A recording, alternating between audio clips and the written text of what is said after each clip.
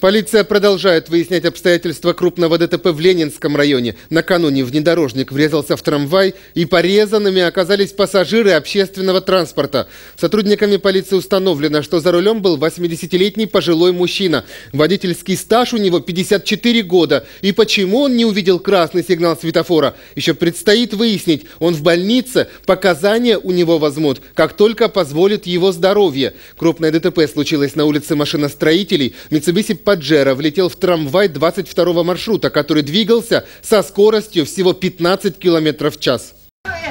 Он живой, самое главное, остальное фигня. Да, живой. Смотрите, что делается. Сидит, звонит, все. Но у нас-то кто-то с кровью. От удара в вагоне вылетело стекло, осколками порезались пассажиры. По данным Горздрава пострадали две женщины и мужчина. У них сотрясение головного мозга и закрытая черепно-мозговая травма. Он живой, самое главное. Куда вот? Мужчина из автомобиля так и не вышел, к нему кинулись очевидцы, но, кажется, больше его волновал автомобиль, который оказался серьезно поврежден. Машина дымится, выходите. Ну, Ничего, все починится, ничего это.